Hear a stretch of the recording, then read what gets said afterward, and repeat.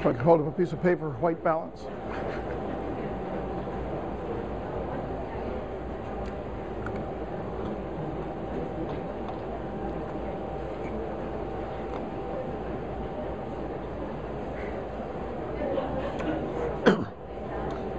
Today I want to talk about the three empires that are covered in this chapter, even though what the Persians had was certainly not an empire. We call it an empire out of courtesy. They simply had a country.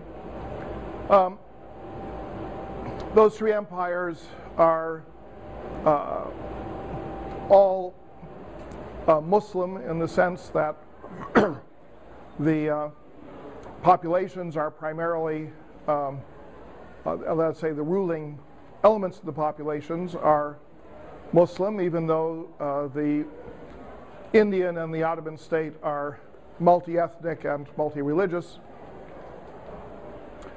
Uh, but because of the sort of image that Islam has in world history, we sort of stress the idea that these are the the, the late medieval or the early modern uh, Muslim empires.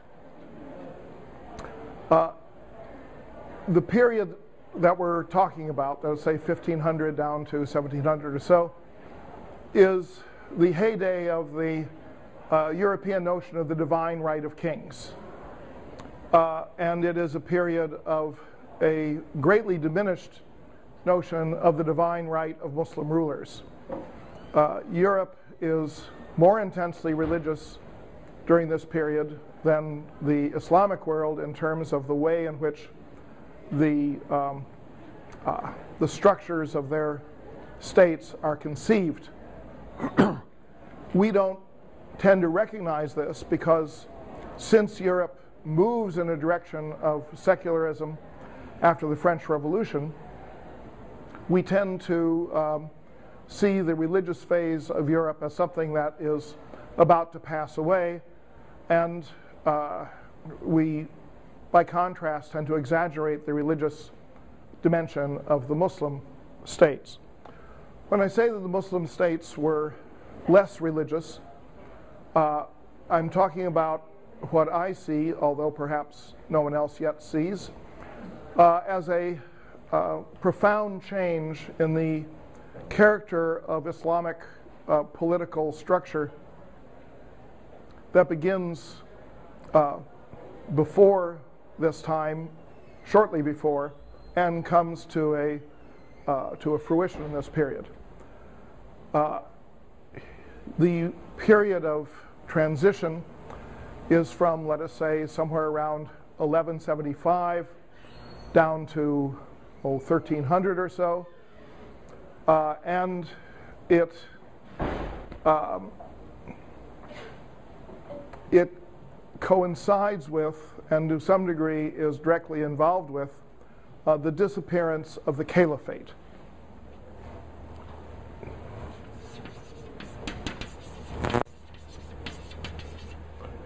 Uh, in Islam, a political institution called the caliphate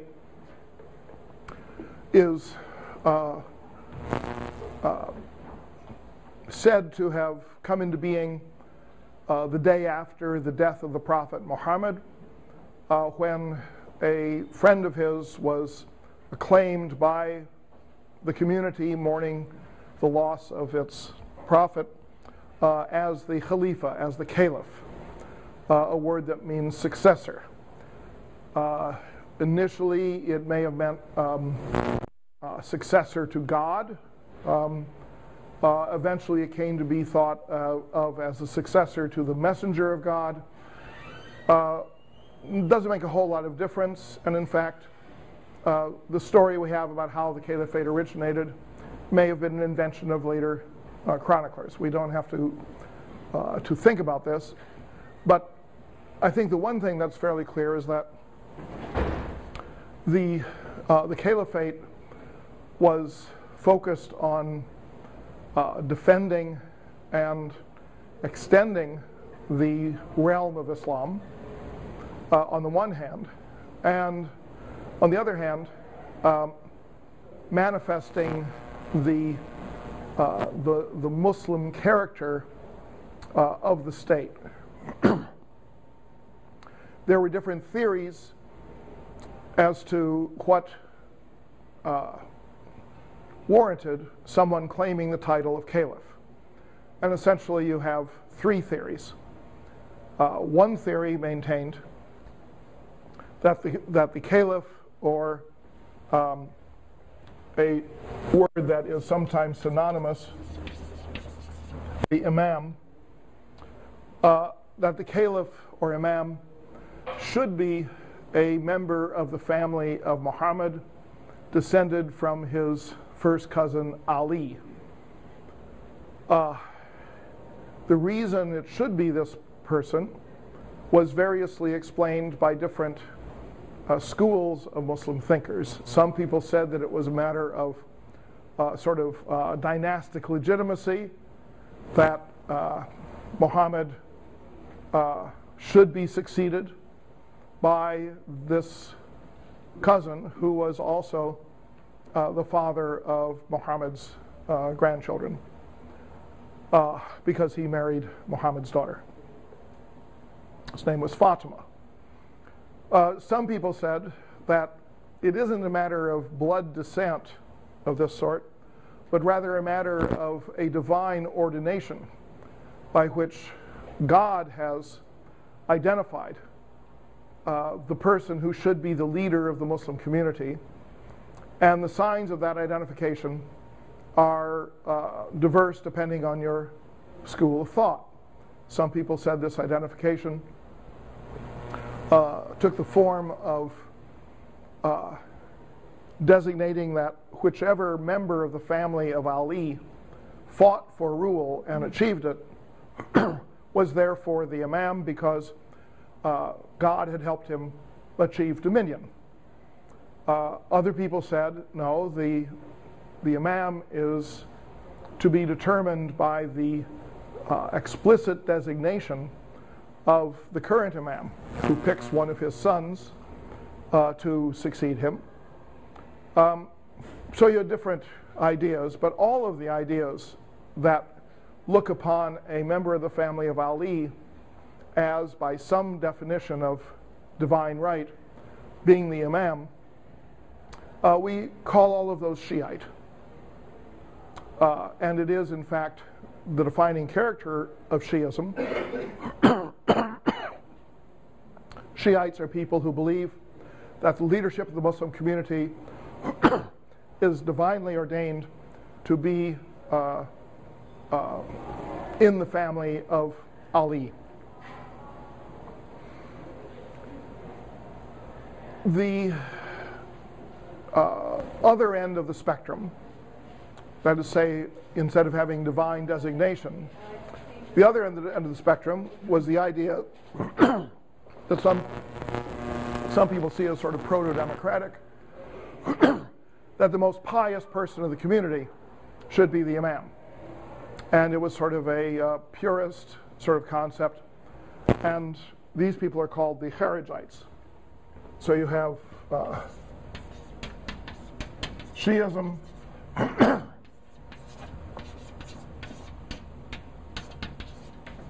Kharijism, and then the third form is Sunnism. The Shiites today are dominant in Iran. They're the majority population in Iraq, Bahrain, possibly in uh, Lebanon. They are a very substantial minority uh, in Afghanistan and Pakistan, and among the Muslim community in India, they are a, uh, a very substantial uh, group. The Kharijites today have virtually disappeared. They uh, continue in their contemporary form only in the Sultanate of Oman. So all the rest of the Muslims are Sunnis. I put it this way because the word Sunni uh, doesn't really have a very explicit definition in the early centuries of Islam, it is kind of a residual category. Those people who are not Kharijites, those people who are not Shiites, are ipso facto uh, Sunnis. And what defined being a Sunni uh, was became sort of uh, elusive. Uh, the word comes from uh, sunnah, which means tradition, and it means specifically the tradition of the community or the tradition of the prophet. There's another word for tradition that means specifically the words and deeds of the prophet Muhammad as handed down and collected in certain uh, canonical uh, works almost of the same importance as the Quran. And that word for tradition is hadith. So I want clearly to distinguish between the word sunnah, which is a uh, the behavior of, of a community, and uh, that we translate as tradition, and the the word hadith, which means a specific prophetic tradition. Books on sunnah uh, will cover all sorts of things uh, from uh, theology down to day Uh, to day uh, practice. Uh, I recall reading one translation into English uh, a few years ago that had a section where it said the sunnah of hair is that a man must shave his upper lip, he must shave his head, he must shave his pubic hair, and must shave the hair on the palms of his hands. And I thought, I, I don't have any hair in the palms of my hands. And in fact, if I did, I think it would be demonic. and I would end up on the sci fi channel in some fashion. Um, so I asked the translator whether possibly what it really meant was shave the hair in the armpits. And she said, well, but the word was the palm of the hand. And I thought it was worth at least a footnote. But, you know, the notion of sunnah um, goes all the way from this sort of thing like uh, how do you drink water, how do you urinate, how do you uh, maintain the palms of your hands, um, goes all the way from that to questions of how the caliph is chosen. And in the Sunni notion, the caliph is conceptually an elective office. Um, but the notion of election pretty much subsided after the first two or three caliphs and was supplanted by a two step process of nomination and oath of allegiance. So that typically the current caliph would designate his successor. And then there would be an oath of allegiance uh, by the population called a bayah, and that oath of allegiance would confirm the, uh, the caliph uh, in, in power. In the early days in Mecca, Medina, the oath of allegiance was taken collectively by uh, the entire population, and we have a great deal written about certain people who would uh, raise objections to the elevation of someone to the caliphate by refusing to take the ayah, the bayah, refusing to swear the oath, oath of allegiance. But by the um, uh, the late 700s, um, it had become customary for the uh, for the chief judge or some other religious dignitary to take the oath of allegiance on behalf of the population. Uh, so essentially, you had a caliph who had come to power, probably because his father designated him, and then he would designate a son. And, and when the caliph died, the son would be confirmed in power by the bayah sworn by the chief judge, uh, possibly with some other dignitaries, on behalf of the population. In other words, something that was conceptually elective and uh, dependent upon the consent of the governed in some respects, had deteriorated into simply uh, dynastic, uh, dynastic success- succession. Nevertheless, if you were the caliph, uh, you were entitled to certain uh, regalia, certain signs of rule that then get mentioned in history books as indicators of who is ruling. For example, once you are the caliph, you get to put your name on the coinage. And frequently, this is how we know who is ruling at a certain point. You look at the coins from, from that mint and you find out whose name is on the coinage. Uh, it also means that during the, the sermon that takes place during the noon prayer on Friday, uh, when there are prayers for the ruler, uh, the caliph will be uh, mentioned by name. And uh, these two items of regalia uh, were important public indicators of who the caliph was. You would think people would know who the caliph is, but uh, you know, it's good to remind people. Um, Mayhew's study of the London poor in the early 19th century revealed that a very substantial percentage of the poor people of London did not know who the king was. Some of them didn't know they had a king. so uh, you can't assume that everybody knows who the caliph is. Um, you also got to have, have the caliph's name written on uh, ceremonial garments that were handed out to appointees to office uh, to show that they were uh, under the patronage of that particular uh, ruler. So you have quarrels among Kharijites, Shiites, and Sunnis about who should be the caliph or who should be the imam. Different theories, different struggles. And when someone seizes power, as would happen from place to place and time to time, uh, they would frequently try to legitimize their power by getting a letter or a proclamation from the caliph who would say, You are now my legitimate appointee. So you, the word sultan, which is used at this time, uh, the time of this chapter, for the Ottoman ruler, uh, is a word meaning power, and it originally meant the temporal, worldly power of the caliph. And what happens is that the notion of the worldly power of the caliph becomes separated from the, from the religious authority of the caliph. So you have a sultan who says, I am acting on behalf of the caliph, but in order to do that, he had to have the, uh, the authorization of the caliph. So um, you might have someone who conquers a province on some frontier of Islam, and he would write a letter to the caliph, say, I have conquered, uh, say, uh, Kashmir, uh, and I would like to, to be recognized by, have my conquest recognized by you.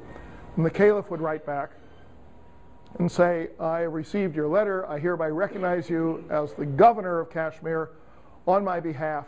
I confer upon you the title of such and such, and I am sending you a, uh, a horse as a gift and a robe of honor that will have my name on it uh, on condition that you mint coinage with my name on it, and that at the Friday prayers, uh, when prayers are, blessings are summoned upon the rulers, your name is mentioned after my name. So it's a very formal kind of thing, but it was terribly important uh, because it was the essence of what made uh, a legitimate Muslim ruler rather than simply a warlord. Now, there were plenty of warlords around. We tend not to hear much about them in the Chronicles because they don't rise to the level of gaining this sort of authorization. But if you read sort of fine grained studies, you find that um, there are lots of people who are trying to seize power in a particular area. But the notion of having the authority of the caliph as the touchstone uh, was always there, and of course, um, conditioned upon the definition of what constituted a caliph, whether it was a Shiite definition or a Kharijite definition or a Sunni definition. And sometimes you could have more than one caliph uh, being defined in different ways. Uh, after 969, for 202, uh, 202 years, you had a caliph in Cairo who was a Shiite and a caliph in Baghdad who was a Sunni. So um, for that earlier period, those earlier centuries of Islam, you can talk about the, uh, the underlying political theory is the theory of caliphate or imamate, and people uh, struggle uh, for this sort of credential. Now, that disappears in large part um, after the year 1200. So that during this period of the Ottoman, Safavid, and Mughal empires, while the rulers are Muslims and they are powerful and they use a title like Sultan or Shahanshah, King of Kings in Persian, um, their relationship to the ultimate uh, legitimating authority of Islam uh, has become quite different. To me, this change is uh, best indicated by uh, an event that shows up in every world history textbook, but I think has not been sufficiently identified in its importance. And this event took place in 1187, and it was the, uh, the reconquest of Jerusalem by the Muslim general Saladin, or Salah ad-Din. Uh, the Crusaders had captured Jerusalem during the First Crusade that began in 1098, and uh, they held Jerusalem uh, for um, uh, almost 100 years. And then Saladin led the, uh, uh, the Muslim armies of uh, Egypt and Syria against the Crusaders and reconquered the city. Saladin uh, was Kurdish, which uh, in normal definitions of the caliphate, that is to say in the Shiite and the Sunni definitions of the caliphate, uh, disqualified him from being caliph. Though uh, among the Kharijis, if they had still been around, and there were very few left by that time, he could have been the caliph. The Kharijis always said that the best of the community is the imam of the community, even if, it, if he is a black slave. Uh, but uh, in this case, uh, the Sunnis had traditions uh, that maintained that the caliph must be an Arab. And many of them specified must be an Arab from the same tribe as Muhammad, the tribe of Quraysh. Uh, among the Shiites, they said that the caliph or the imam must be a descendant of Ali, Muhammad's uh, son in law and first cousin, which of course also would make him a member of that tribe. So here you have a man like um, Saladin, uh, a Kurd, uh, in a period when most of the powerful people from Afghanistan across to Egypt, uh, most of the, of the, the, generals who really held power uh, were not Arabs. They were either Kurds or Turks. Uh, more Turks than Kurds. Uh, sometimes they were Armenians. Uh, there were some important Armenian converts to Islam who played significant roles. but in the case of Saladin, he is a Kurd. He sends a letter to the Caliph in Baghdad after taking Jerusalem, saying, uh, My valiant troops have retaken the holy city of Jerusalem. And the Caliph writes back and said, uh, Actually, those are the valiant troops of the Caliph who have retaken Jerusalem. And Saladin writes back and says, No, they're my troops. They've retaken Jerusalem. Because the Caliph really hadn't lifted a finger uh, against the Crusaders uh, over the preceding period of close to a century, because the Caliph didn't have any power to speak of. He just had legitimating authority. Uh, later that year, at the end of the year, uh, Saladin picked one of his top military commanders to lead the pilgrimage to Mecca. And a caravan went to Mecca, as it would do every year, under the command of this individual. And of course, at the same time, a caravan set out from Baghdad with an emir uh, appointed by the caliph to lead the caravan on the pilgrimage to Mecca. So the two caravans, plus caravans from other places, uh, Yemen and so on, arrive and they are camped out in one of the pilgrimage sites located outside of Mecca. And on the day when they are supposed to go into Mecca, the head of the Syrian caravan says, Okay, uh, uh, play the drums, let's get going, we're going into Mecca now. And the head of the Iraqi caravan said, Actually, I go first, and you don't come with your caravan until my caravan has gone first. And the Syrian says, There's actually no authority that says that you go first. And I'm ready to go, so play the drums. So a battle broke out. Uh, people were killed. You had uh, professional soldiers plus uh, the various uh, pilgrims themselves from Iraq and Syria fighting it out. And um, uh, in the process of the battle, the Syrian uh, uh, emir uh, is mortally wounded. So they take him to the tent of the Iraqi emir. The Iraqi emir says, You know, this really wasn't the time and place for us to get into this dispute. So let's just kind of forget about it. But then the Syrian emir died. Uh,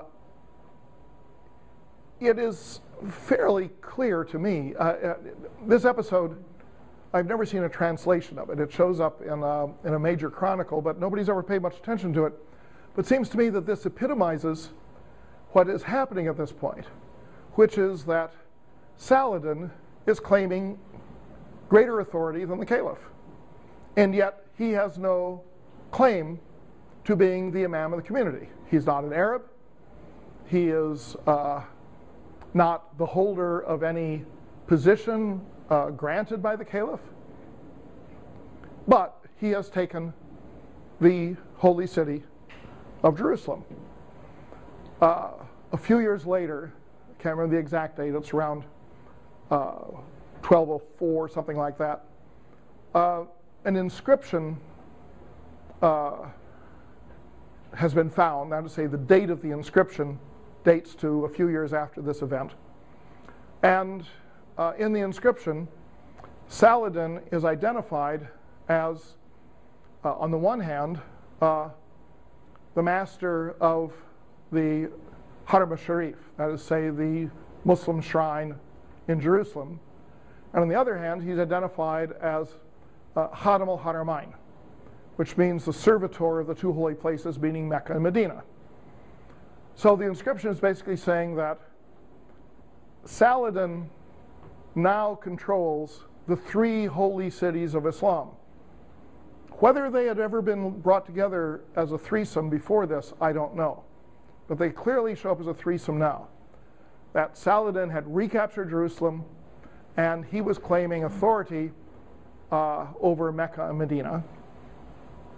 And uh, he was using a title uh, servitor of the two holy places. Khadim, which means servant, uh, and El Haramain,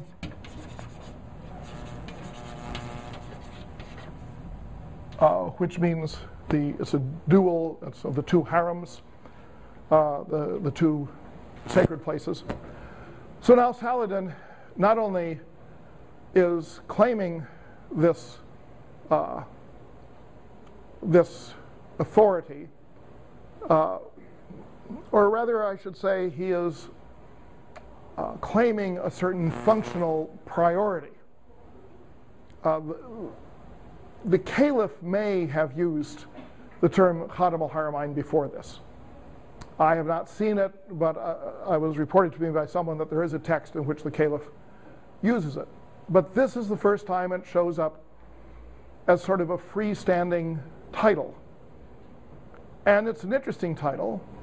Uh, first, because it um, it is separate from the issue of uh, divine legitimation. It is simply saying de facto, I hold the power to be the authority over the holy cities of Islam. Uh, but secondly, and perhaps more importantly, this title of Khadim al Haramain persists from that time, from roughly 1200 down to the present day, as a significant functional title for whoever controls Mecca Medina. Uh, it is a shift from authority based upon divine uh, legitimation, whether of a hereditary sort or of an elective sort, to an authority based upon uh, functioning in a certain role with respect to the Muslim community, uh, but without a divine appointment to do so. In 1258, the last caliph in Baghdad is killed by the Mongols. Uh, there are a couple of people over the following year or so who claim the title of caliph uh, because the position is now empty. Uh, uh one ruler in Tunisia, uh, one in Yemen. But the fact of the matter is, there, there is no uh, there's no real um, mechanism for deciding after that who will be the um, who will be the caliph. Then Turkish generals who are in power in Egypt, who have seized power in Egypt from the descendants of Saladin, uh, they find a relative of the last caliph. They put him on a throne in Cairo, and they call him the caliph and nobody pays any attention to him. Uh, so you have what's sometimes called the shadow caliphate that lasts until the Ottoman conquest of 1517. Uh, the Turkish generals who are ruling in Cairo, uh, in other words, create a legitimizing authority that is totally under their control, but they also continue to retain a title that is not given to the caliph, but is reserved to themselves, which is Khadim al Haramain, the servitor of the two holy places.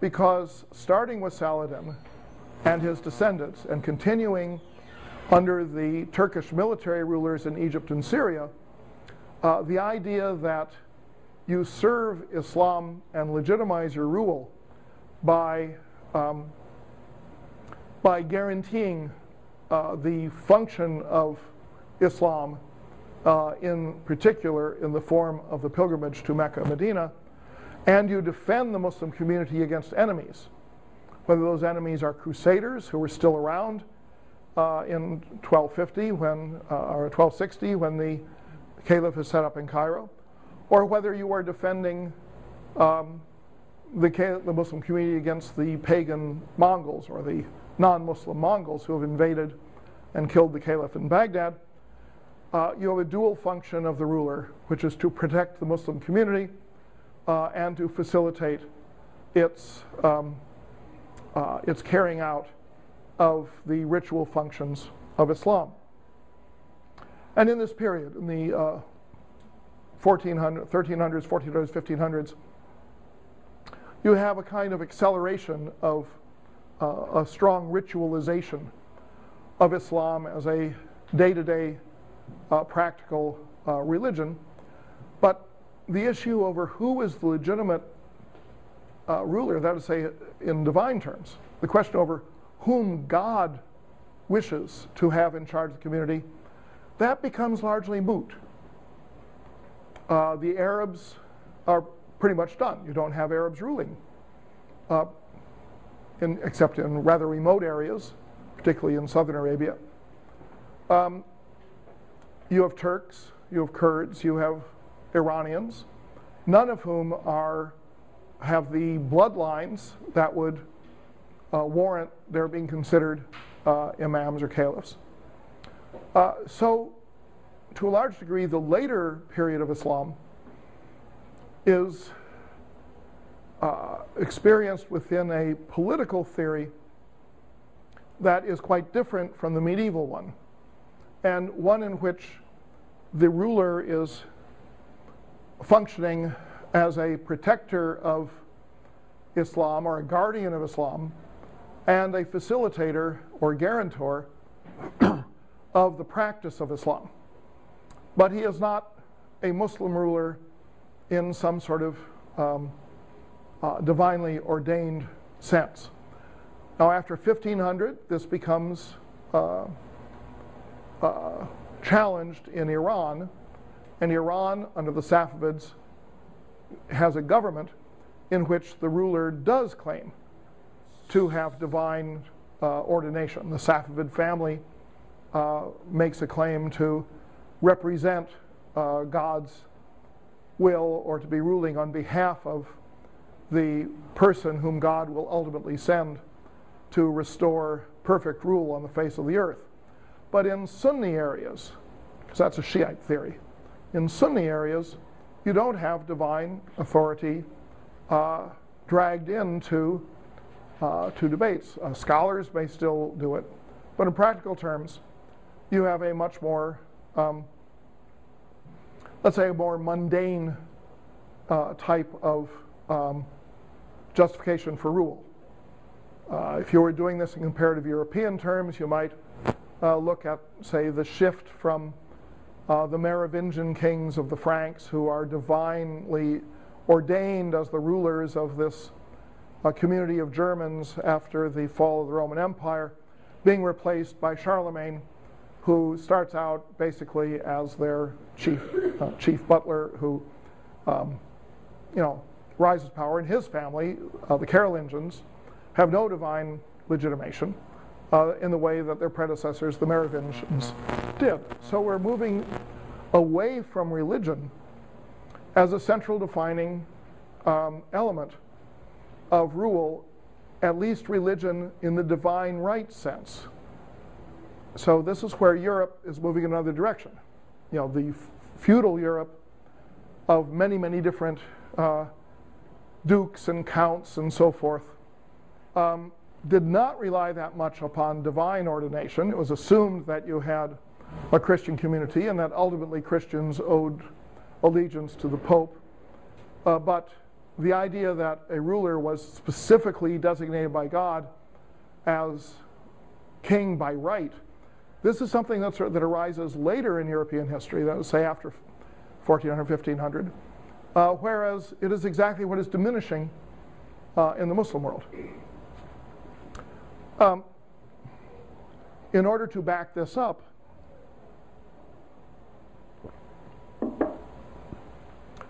uh, the Muslims who controlled the holy places put increasing emphasis upon the pilgrimage. Anyone who's studied anything about Islam will know that there are five pillars of Islam uh, you know, prayer, alms, fasting, uh, declaration of God's uh, you know, oneness and Muhammad's role as his messenger, and the uh, performance of the pilgrimage. But prior to 1200, performance of the pilgrimage was a comparatively minor uh, part of a Muslim's religious obligations. A Muslim was supposed to perform the pilgrimage once during a lifetime if he or she was financially capable. But when you look at the city of Mecca, circa um, 1150 or so, it seems to only have maybe 5,000 year round residents. It has virtually no water and it doesn't grow any food. Uh, the sustenance of the city of Mecca depended in substantial part on the taxes or the tolls that were charged on the pilgrims. So it was expensive to make the pilgrimage. Uh, what we know of the, uh, of the toll that was charged at the time of that Saladin took over uh, was that it was seven dinars, which is a very, very large sum, seven gold coins. Uh, but they needed the money to support the holy cities because there was virtually nothing there by the way of an infrastructural support. uh, Saladin canceled the tolls and took the supply of, of food and water and uh, services for Mecca Medina, took those as government obligations for uh, the government of Egypt and Syria. And they remain government obligations to this day. Uh, first under Saladin's descendants, then under the Turkish generals who took over uh, in, from his family in 1250, then under the Ottoman sultans who took over from the Turkish generals in 1517, and now under the, uh, the Saudi uh, royal family, which seized power in the 1920s. Uh, and this is a very, very serious, uh, serious thing because it's not only providing for the pilgrims, but it also is a way of demonstrating to pilgrims uh, what there is at the center of Islam. In other words, Islam has this concept uh, called the Ummah.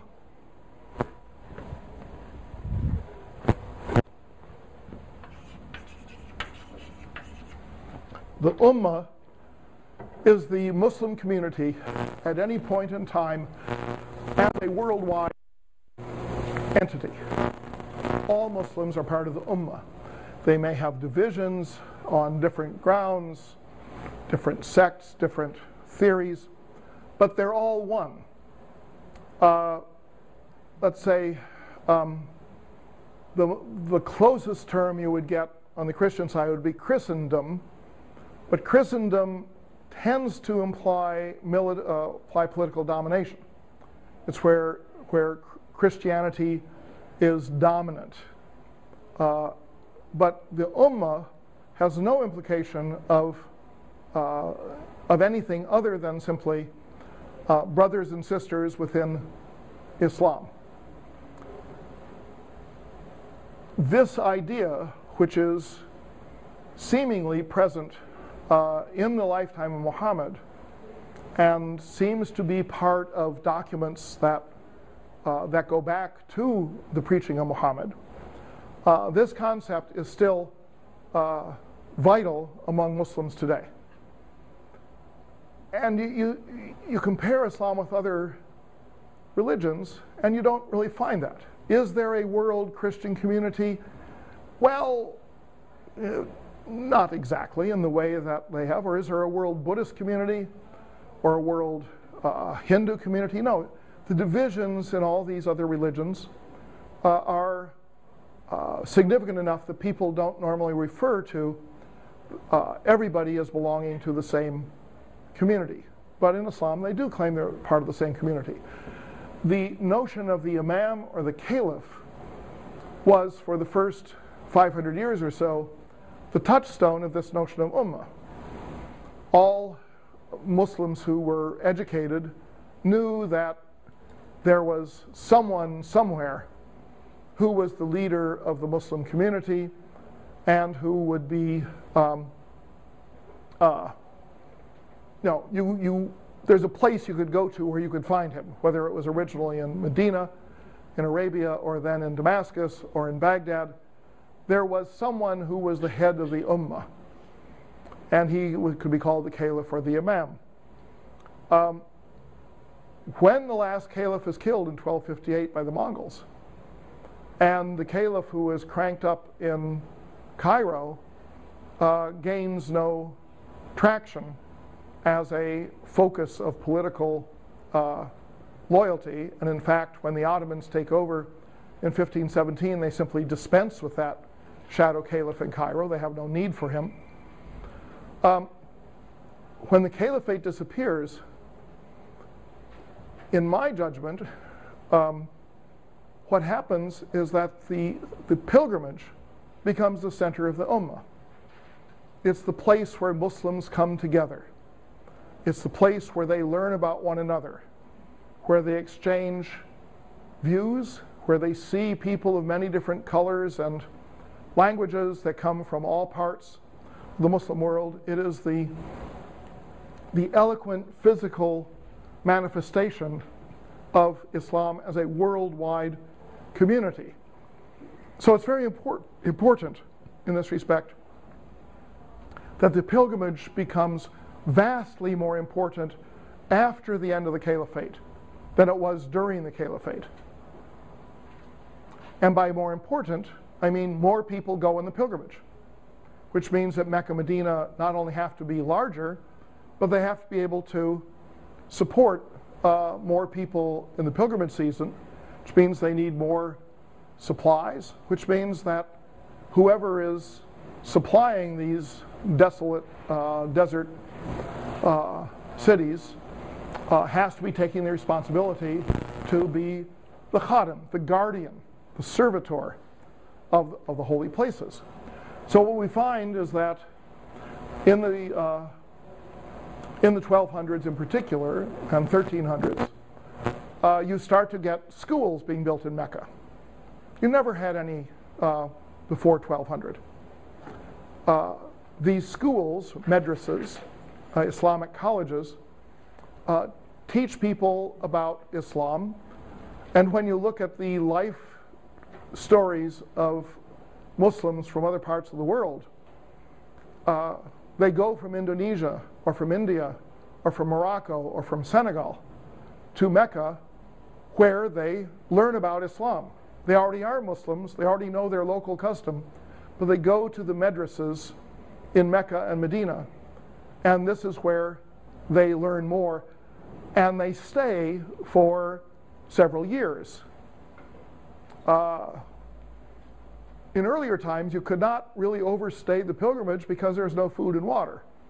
You had to go home when the, pil- when the rites were over. The rites only last a few days. But now you had people who were sojourning there for, uh, for several years. Not only did they go to school, but they would join Sufi brotherhoods. And the Sufi brotherhoods had uh, uh, residences in Mecca, Medina.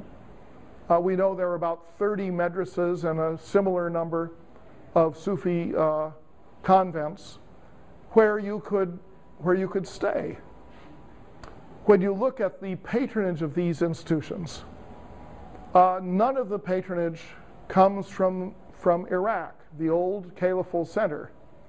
Uh, it comes from Yemen, it comes from India, it comes from Egypt, uh, from Syria, and from local uh, wealthy people. And wealthy people begin to think it would be a holy thing to facilitate the pilgrimage. So they sponsor public works and uh, uh, means for people to sojourn in the holy places.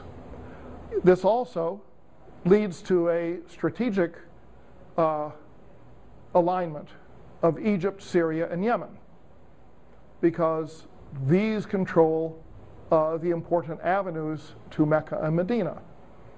Uh, prior to 1100, uh, uh, Yemen really was an outlying area that nobody cared about very much.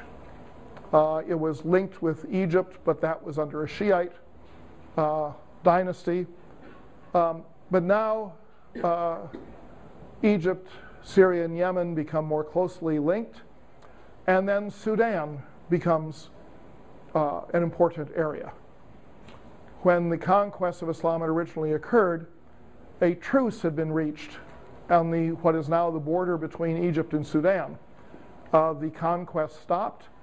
There was a treaty, and the Christians of Sudan uh, were not um, attacked by the Muslim armies in Egypt until now, when you start to have Sudan becoming strategically important because it is uh, so close to Arabia across the Red Sea from the holy cities. So there's a, a great change in the weight of uh, this um, part of the Middle East from what it had been say in 900 or 1000. 900 or 1000, almost all of the weight of political and religious and cultural influence in the Islamic Middle East was in Iraq and Iran. Now Iraq and Iran are sort of cut off, and the weight shifts to uh, Egypt, uh, Syria, uh, Yemen, and to a lesser degree, uh, Sudan.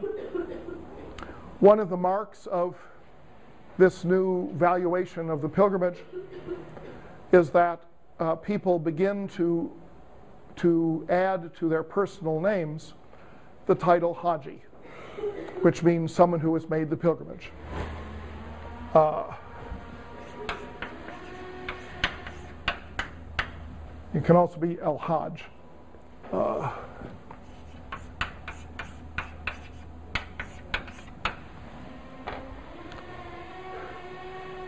people who made the pilgrimage before 1200 may have used the title Haji, but if they did, I have not found it. Um, even though I have specialized in reading Muslim biographical dictionaries and I've gone through literally tens of thousands of capsule biographies of Muslim scholars, many of whom it'll say, you know, he, he made the pilgrimage in such and such a year, but you never see the title Haji.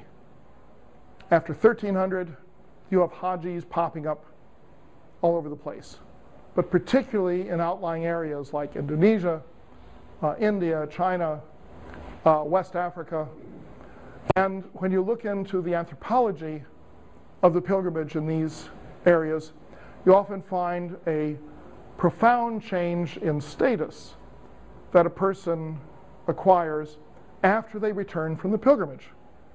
They can wear different clothes because they are Haji. They can decorate their house, like their front door, in a different fashion because they are Haji.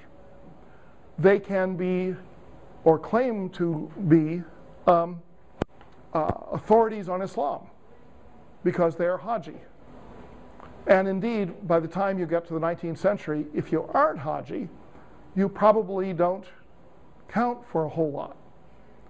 Uh, interestingly, while the, um, the Hajis uh, for the Muslims are those who go to Mecca, Medina for the pilgrimage uh, at the end of every year, um, Christians pick up the practice and they start to call people who make a pilgrimage to Jerusalem Haji.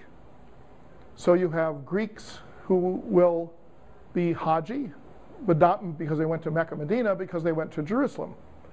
And not with the Muslims, but more with the Christians, you have this becoming part of surnames. So you have Greeks who are named uh, Haji Athanasiou or Haji Georgiou or Haji Constantino or something like that. And it's not just the Greeks. Um, I'm told that this extends into the Balkans. Uh, and what it points to is not simply that Mecca Medina become more important, but that for this part of the world, um, pilgrimage uh, takes on a, uh, a, a, much great, a much more profound meaning than it had earlier. Now, normally, when you lecture on pilgrimage in world history, you talk about pilgrimage leading up to the Crusades that Christians made a pilgrimage to Jerusalem. They found Jerusalem was held by the Saracens. They said, next year in Jerusalem, let's kill the Saracens. And then you have the Crusades.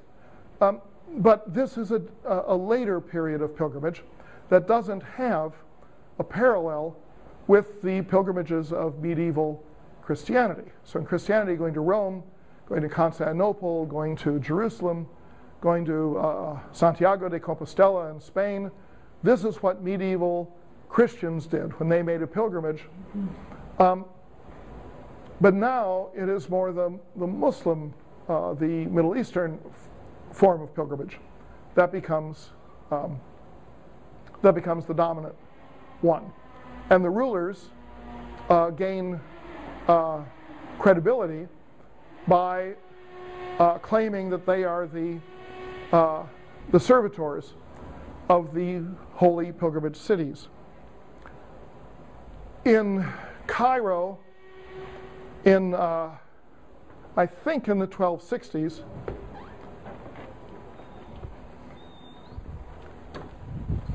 back on frame for the camera. Um, in Cairo, uh, I believe in the 1260s, there is a new custom that arises, which is that when the pilgrimage starts every year, it'll be led by a, uh, a shrine, an empty room built on top of a camel. And the exterior of this shrine will be elaborately decorated with uh, cloth hangings and gewgaws and so forth. And the, the camel with the empty room on top will lead the pilgrimage uh, to Mecca, Medina. Uh, this practice in Cairo, uh, as I say, I believe in the 1260s, continues down to the 1920s. Every year you have the ceremonial camel. Uh, and once they started in Syria, then other people want to send their ceremonial camel. Then they'll want to compete over whose camel gets to go into Mecca first. And the governor of Mecca, usually knowing where he's getting his grain and his water from, always gives precedence to the Egyptians. But the ceremonial camel, nobody knows the origin of the practice. Um, but the ceremonial camel, is, before the caravan starts out, he's led around to all of the, to the palaces of all the major military commanders in Cairo uh, to sort of receive blessings and so forth and so on. So it, it becomes the physical symbol of the political uh, uh, authority that is sending out the, uh, the caravan. It doesn't go to the caliph to get authorization. It goes to the major, uh, the major generals. Some people have likened this ceremonial camel to uh, a practice that was observed in the 19th century that certain Arab tribes, when they would uh, travel or go to war, would carry a camel with an empty um, room on its back, a closed camel saddle.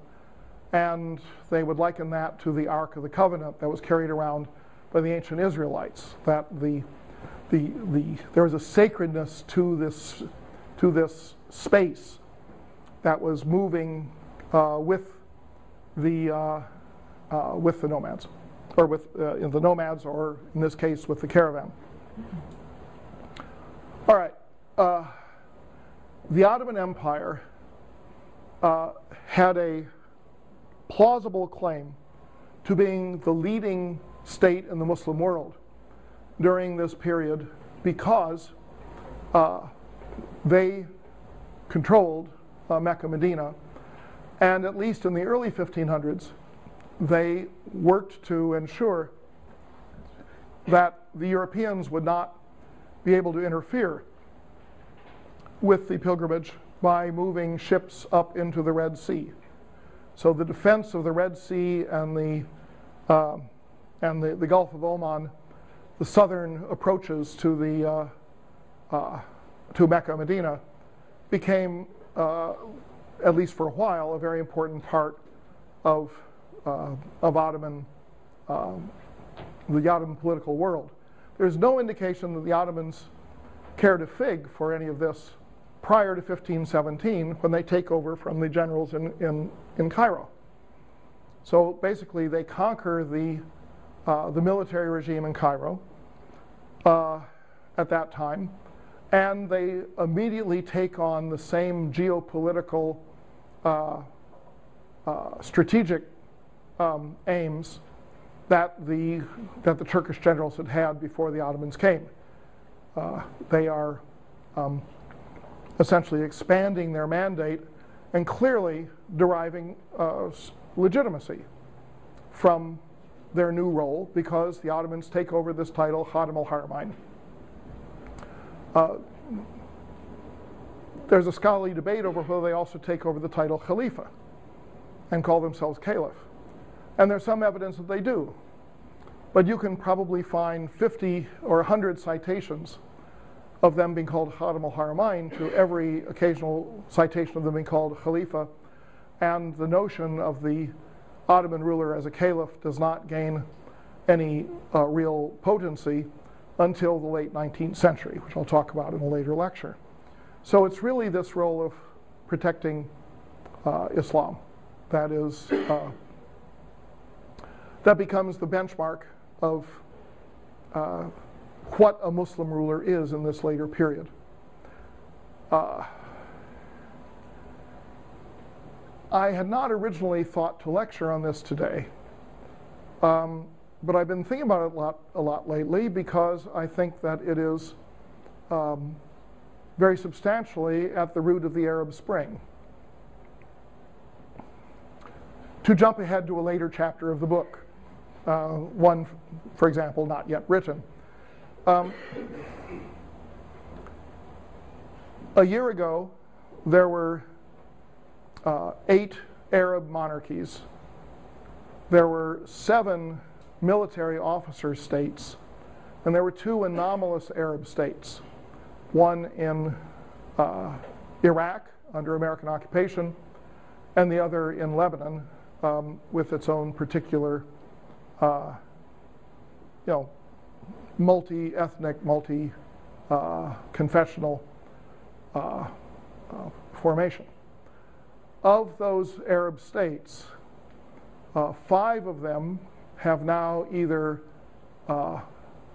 lost their rulers or um, are on the verge of doing so. That is, say, uh, the ruler of Egypt, the ruler of Tunisia, the ruler of Libya are out of power.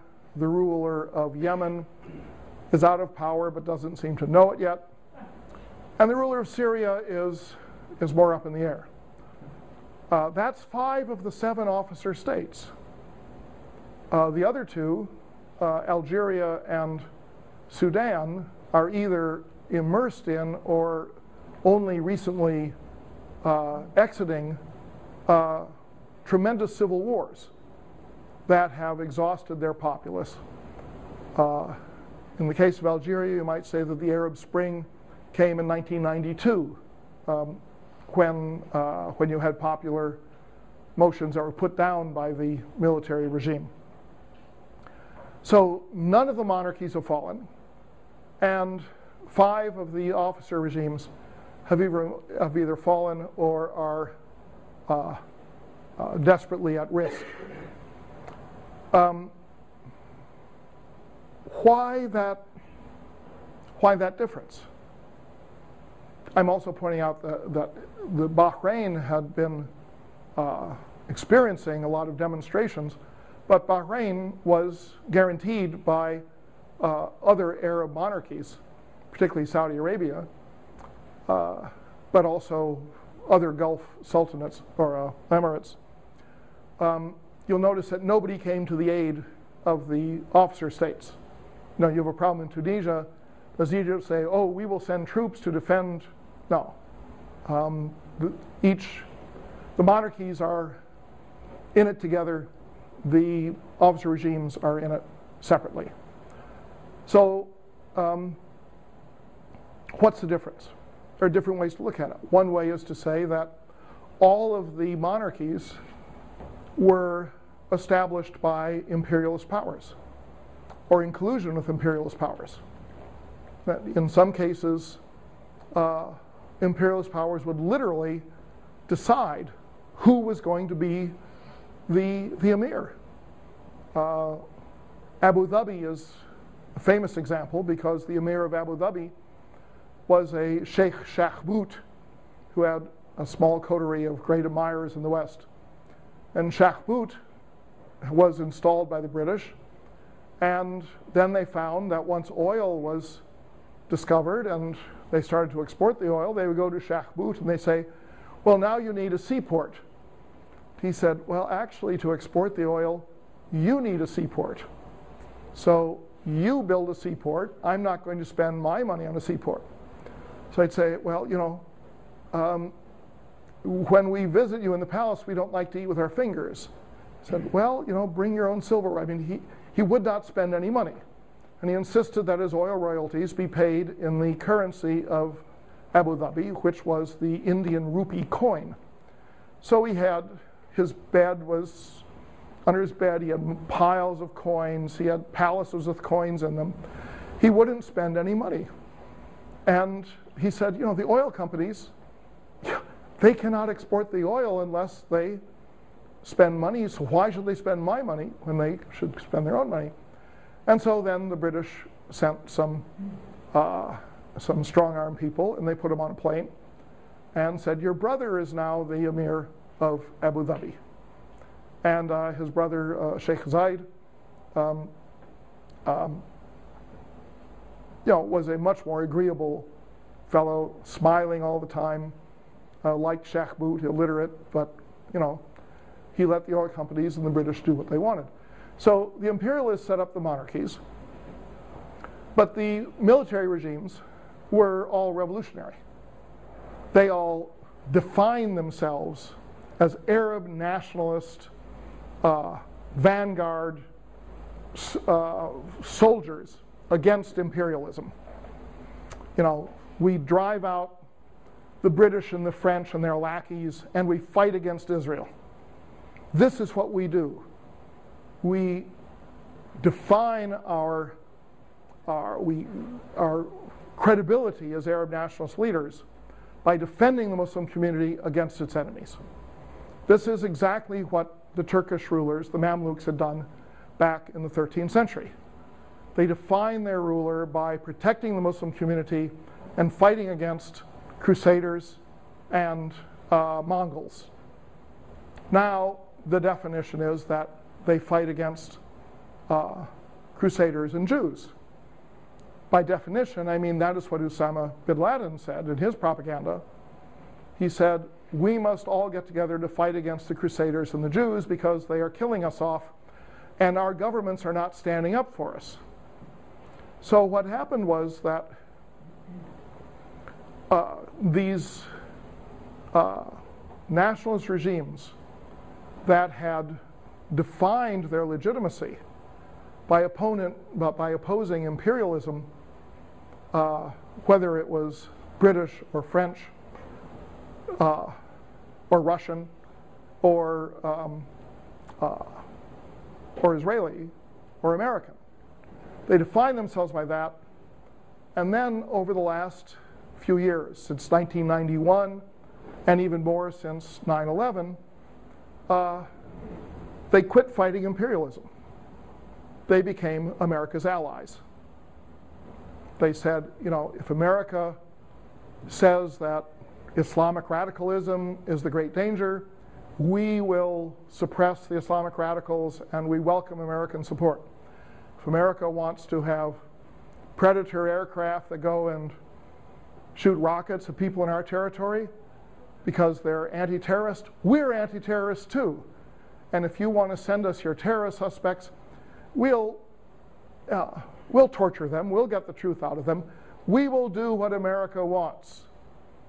And what America wanted was to uh, demonize radical Islamic activity, uh, at least that uh, portion of it deemed terrorist or potentially terrorist. Uh, and they wanted Iran to become the enemy of the Arab world. Uh, and they wanted the Arab world to feel friendly about Israel, uh, make peace, you know, form economic relations. And the regimes, by and large, these military officer regimes that had begun as anti imperialist nationalists became, within you know, the last few years, became America's staunch allies, defining the, uh, their function in the world according to an American vision of, uh, of the role of government, but abandoning their original legitimating claim that they were defending the Muslim community against imperialists and, uh, and Israel. Um, to me, the Arab Spring was a consequence of a profound crisis of legitimacy that did not affect the kingdoms, because the kingdoms had not, were not predicated on the idea that they would struggle against imperialism. They were all created by imperialism. And they weren't defined by how they're going to struggle against Israel, because by and large, they didn't struggle against Israel, although Jordan did from time to time. Um, so the kingdoms had never claimed to be anything than what they were. Uh, but these officer regimes uh, had made um, their, their right to rule uh, dependent upon their opposition to imperialism and to Israel, and their populations, whether they had liked it or not, their populations had come to deeply um, interiorize that philosophy. So, in other words, the Arab populace would say, We are the friends of the Palestinians. Uh, we are uh, opposed to American occupation of Iraq. That's imperialism. But the governments were now on the American side. And, and they fell. And it was interesting when the demonstrations began, most of the governments at threat announced Islamic radicals are trying to overthrow us. Whereas Islamic radicals were very hard to find in these demonstrations.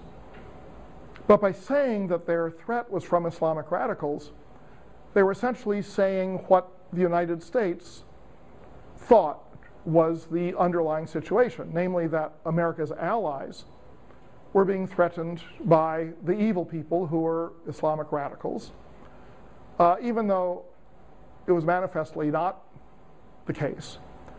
Um, but it was very similar to what happened during the Cold War when you would have a, a dictator who would be faced with a nationalist uprising, and he would say, The communists are trying to overthrow my government. And the Americans, communists overthrowing your gut, send in the Marines because we can't let the communists take over. And I do believe that the Egyptians, Tunisians, and others thought that Europe and America would come to their aid to keep them in power in the same way that during the Cold War um, we came to the aid of dictators who were threatened by international communism. Uh, it didn't happen.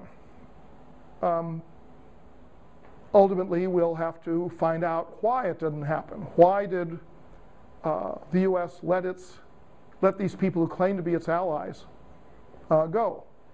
But uh, it is the end of a form of Islamic rule that began in the 13th century or in the 12th century, when you had uh, protection against outside invaders and maintenance of, uh, of a Islamic regime, uh, nominally an Islamic regime, uh, for the protection of the uh, ritual uh, observances of Muslim populations.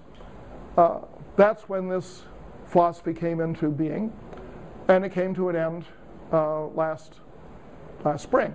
So you can go through the history of the Ottoman Empire and trace this, uh, which is actually where I intended to start today's lecture, uh, was to talk about what, what these military regimes are actually like and how they worked in terms of monopolizing power for the military.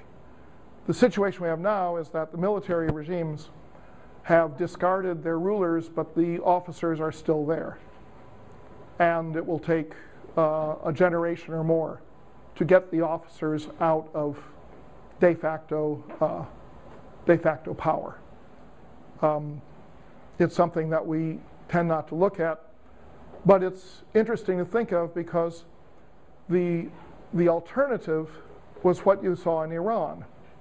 In Iran, you had a Shiite regime that claimed to be ruling on behalf of the Messiah who would return, the Mahdi, uh, and bring perfect justice.